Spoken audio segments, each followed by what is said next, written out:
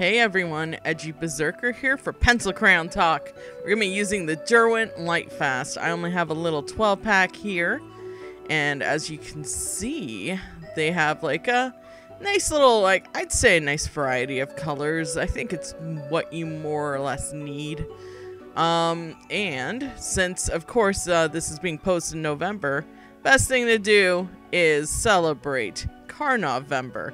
I drew Karnov from Fighter's History, Karnov the game, and uh, Karnov's Revenge. So yeah, let's have a look at these pencil crayons, and let's get to it. So let's first talk about these pencil crayons. Um, this is, I'm going to say my second time using them. I didn't really use them seriously. I just, um, funny enough, the uh, rough sketch I did of my first video, Morgan, I then ended up like practicing and coloring in with these because it was the only image I had at the time to try out blending and stuff. And they do have a similar feel to the Polychromos, which I actually quite like. Um, the colors that are included are more portraity, which I mean, I'm not surprised because, you know, most people that would like want a light fast thing probably did a lot of portrait stuff, right? And uh, yeah, so I'm using, of course, the um, the uh, pencil crown paper um, because gotta have everything on even ground. That's the rule. And of course, you know, it's Karnov-vember. So let's start off November with Karnov, shall we? Um, for those who don't know and don't know me, uh, basically, I love fighting games. I probably say that a lot. And um, Fighter's History and also Karnov's Revenge are two of like my some of my favorite fighting games. And as well, I love the uh, NES game Karnov. so this is like uh, based off of the Karnov's Revenge um, intro. And I used it for a bit for reference for like his face and that, but then I added like, you know, him having his fist up. The point was there, but I did the whole hand. And uh, yeah, I just wanted to use it for like practicing the coloring and the shading because, you know, I want to use the light fast use them fairly and see what we can do with them. Um, I'm honestly, it was a breeze just working on these. I just uh, had, I believe I had Robot Co-op stream going. And then I turned on, um, I believe I just turned on a movie and I was watching Voyage of the Rock Aliens while doing this. And, oh my god, that movie's great. I don't, it's, it's a cult movie, like cult classic type movie. It is the soundtrack is a banger. Like it's so good. they uh basically the plot of it, I'm to do it as roughly as possible, is about aliens that are looking like for like a planet to uh check out with life on it and they learned how to act like humans from um, new wave music videos. And then the the soundtrack's just really good. It's like combination of some like, you know, I'm to say like uh because around the 80s that's when the nostalgia for like 1960s rockabilly type stuff was also happening. So, it does have like a mix of that. It has a mix of new wave and it's just really good. And it's so 80s it hurts. I highly recommend it. It is free on Tubi. I will always point that out. It is free on Tubi, so do check it out if you have a chance. It's a fun romp. Um, I guess the only one who really stars in it is Pia Zadora, and she played like the little kid in Santa Claus Conquers the Martians. For those who watch RiffTrax at Mystery Science Theater, and huh, let me think. Let me think. Uh, I mean, Jermaine Jackson's in the uh, beginning of the movie where there was a music video. And then it just went on to some other plot instead. so I'm moving on to his arm, and as you can see, we got even, like, I'm just building the colors and such.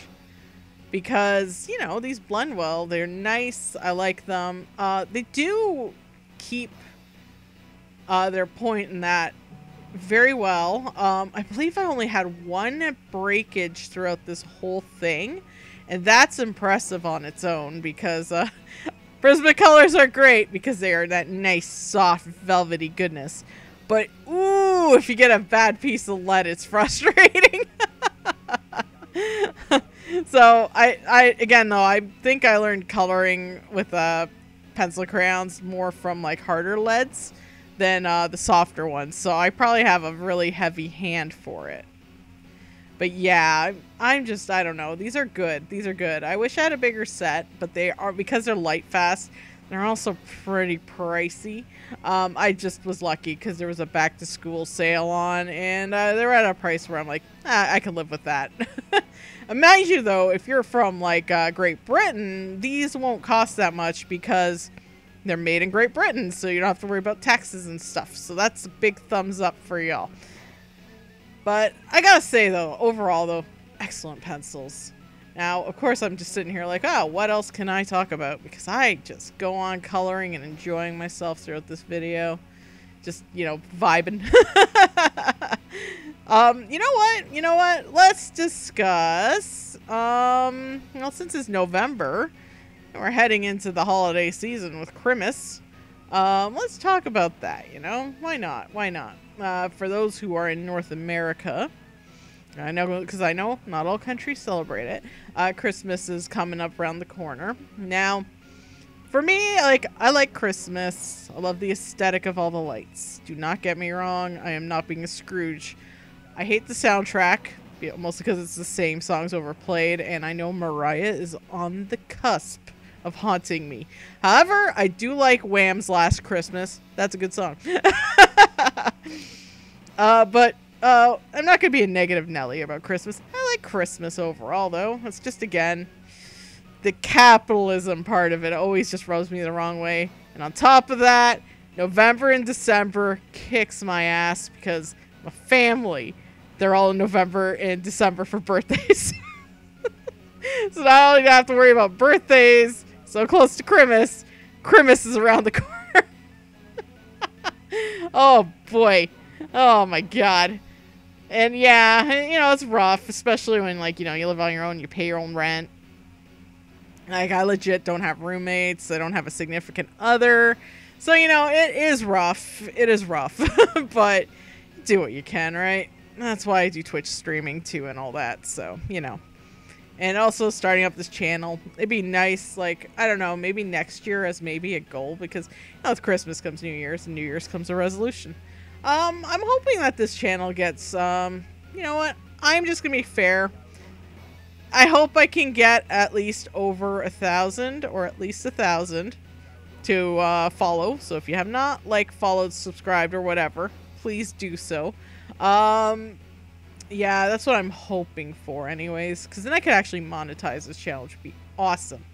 But I, so far though, I have been keeping up with two videos a month, which is kind of like a easy goal for me to keep because I also have my uh, other channel, the Edgey Berzerker Edgey Plays channel, in which I am, uh, you know, play fighting games character by character by character. it doesn't matter if I know how to play them.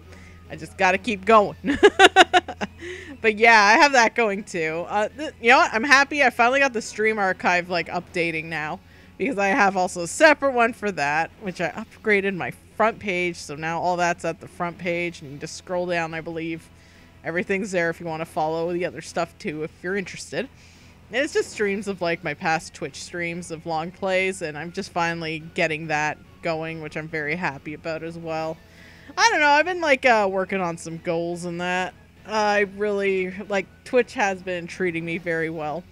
And more so, uh, YouTube streaming every Wednesday, or most Wednesdays, I should say, have also been wonderful as well. It's been treating me really well, honestly. Like, not like, you know, like I'm not doing like ninja levels or PewDiePie levels, but I'm doing slow and steady wins the race levels, and that's all that matters to me.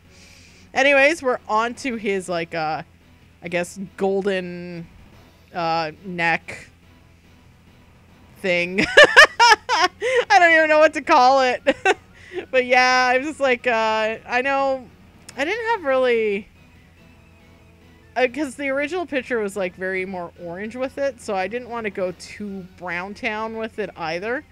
But I did like though, like uh, you know, adding the sunnier yellow in there because that's kind of like what the reference had. But then, as you'll see, I'm gonna add some cross hatching soon for the details in that uh, neck thing. so yeah, I just did some cross hatching just to kind of get like the little details where it's like kind of like um, textured. And I figured that worked great. Like, what in doubt, do cross hatching. do some cross hatching.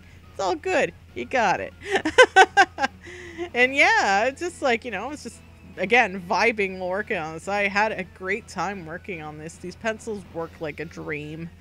Uh, they they work. I, at least I know this image of Karnov is going to last 100 years uh, uh, in direct sunlight, so thumbs up to that. and yeah, I, I, don't know. I just, um, it sucks that I just can't get a bigger set, but it's also a godsend at the same time because I have too many pencil crayons.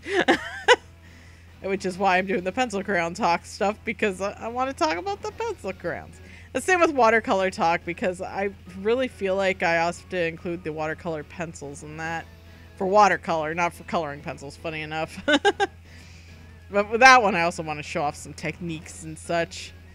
And of course, another hope for this is I, you know, also have the regular series of the three marker challenge because I have a lot of Copics, so that'll just be a fun one to do. Um, yeah, I don't know. It's just, uh, what would you all like to see me try out? Because uh, I gotta keep in mind, I have to pay for everything myself, so uh, you know, keep the challenges good. Um, I'm not to do oil color, and that the only reason I've never used it, but that's not the only reason. It's because my apartment has bad ventilation, I find, and I'm not to run like fumes and stuff in my apartment because of that. I have two kitties. I can't do that to them, you know? That's the same with um, resin. I love to do a clay sculpture, but I can't really do dramatic angles because I'm only working from an iPhone here. Please like, comment, subscribe so I can afford myself a new camera. Ooh, zoomed in just to get some hot goatee action. Just uh, colored in his little uh, chin strap there. Again, these layer wonderfully, I gotta say. They are wonderful pencils. They are wonderful.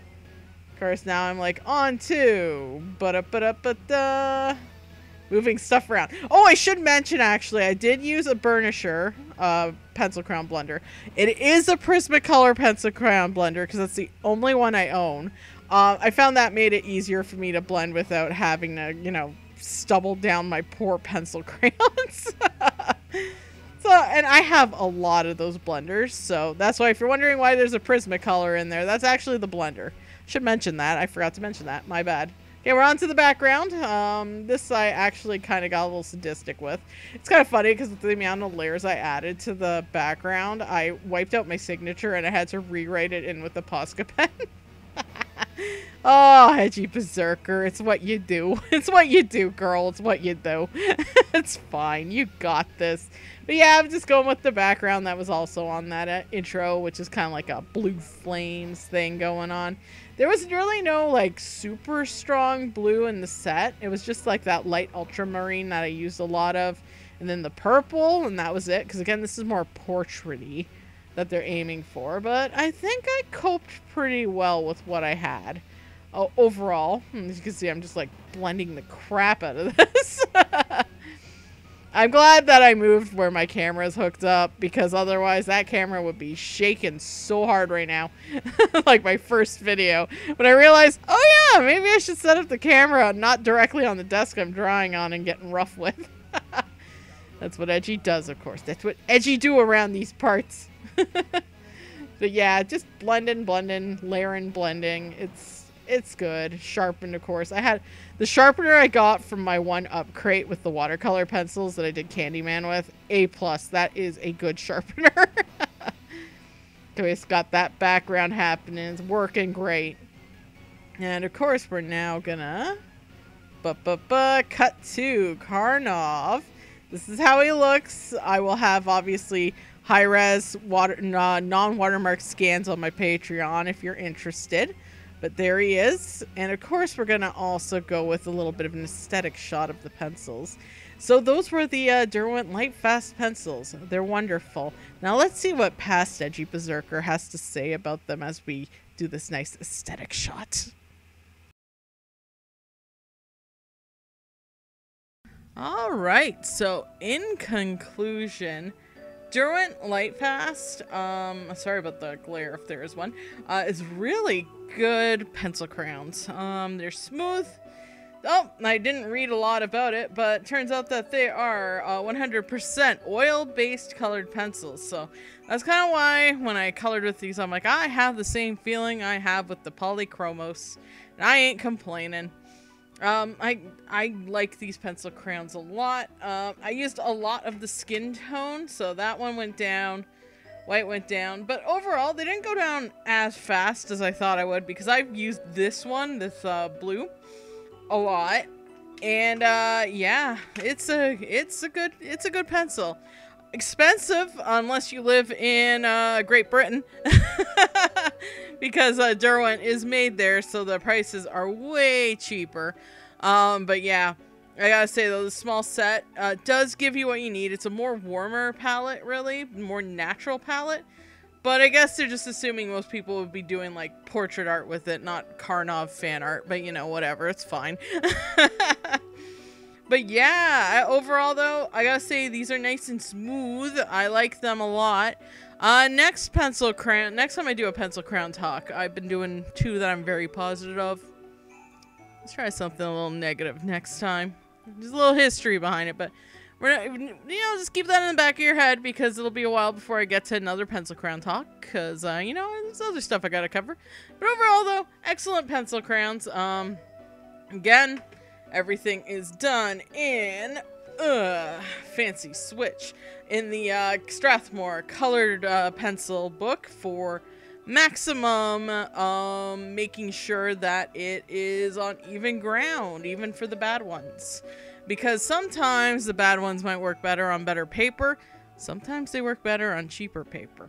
Um, yeah, so everyone, thanks so much for watching. Patreon, thanks so much for supporting. And everyone, I hope you have a great day and stay creative and happy Karnovember. Because, uh, you know, sometimes niche fighting games are something that we gotta delight in somehow. Okay, everyone, I'll see y'all later. Bye now.